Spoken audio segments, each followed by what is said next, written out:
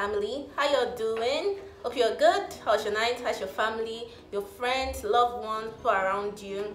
Hope you all are good this Corona period. Yeah i know that it's not easy but let's just try to you know hang on. God will help us in jesus name. So today's video i'm just getting right into it. No long story. So lots of you might have noticed this shiny shiny on my tip it's not fancy it's not jewelry it's not diamond it's not silver. It's called braces yeah. And i'm going to be really quick with this video. I really really pray it's not too long.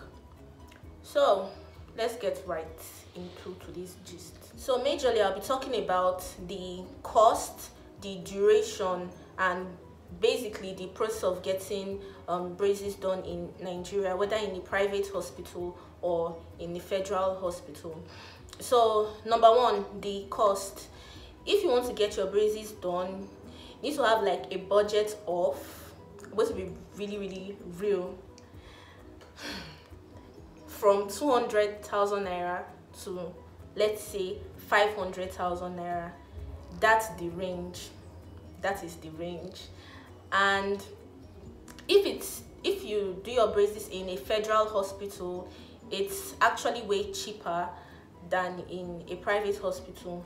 But if you want to do your braces in a private hospital it's i think it's actually better if you have the funds because the process is faster and it's less stressful. And okay so that is that for the budget. For me i got my braces done in University of Benin Teaching Hospital at the orthodontist um, clinic. And as at that time, it was 200,000. For me getting my fixed appliances, it was 180, 170, then 30,000 naira to, you know, do the scan. That's majorly the, that's just the, the range. I think it's um, more expensive now I think that's what my dentist told me. He said it's, it's more expensive now. So budget aside. And why I got my braces done is that I had overbite. So overbite is when your upper jaw is overlapping the lower jaw. So it was like this. And I had space, like space, space, space, space, space all over my teeth. It was really wide. So I had to correct that so yeah that's basically the reason why i got braces done and the duration initially braces supposed to like it depends on the condition of your teeth.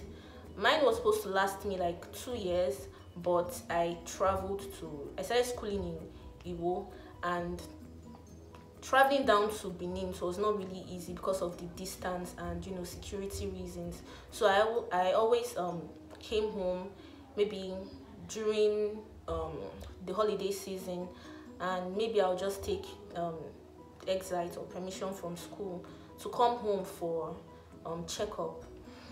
Initially, I was supposed to go for my checkup every four weeks, but that was not possible, and that um, should I say increased now? That extended my that extended the you know period that I was supposed to wear my braces.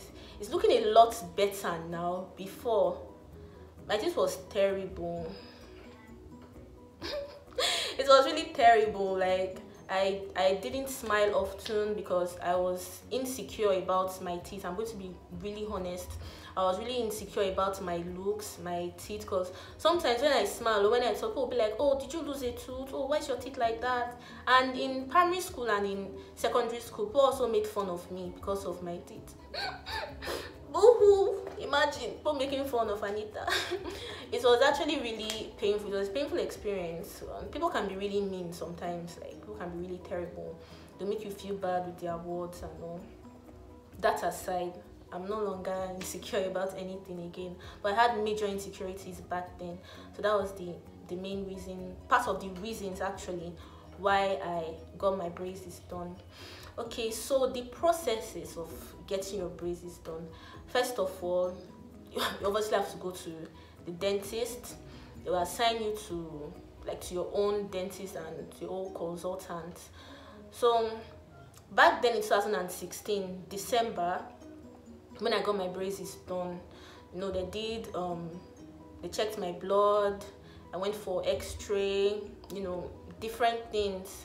And yeah after that they asked me to come back in two weeks time. So i went back to the orthodontist clinic and you know they started ah! I really don't like visiting the dentist but we go do all right so the first thing that they did was um scaling and polishing. They just cleaned my teeth and all. Then the second thing was that they um inserted like a tiny um elastic like elastic band it was really really small like so small. They placed it in between my gums just to you know create space for the fixed appliances. And that lasted for um, a week. It was really painful i'm not going to lie. So i went back to the orthodontist clinic and they took it out and they started the you know the let's say technique now they started fixing little um little bands. Is it little bands now? Brackets. Yes that is the name. So the tiny metals placed on my teeth is called brackets and it was applied using a um, they call it bonding dental dental bond. I can't remember the name. And this process took like two hours. So imagine my mouth was opened for two hours I, they used the mouth guard so process lasted for two hours. And before sorry i forgot to mention this. Before they started fixing the brackets they did something called impression. That is to get the like casting to get the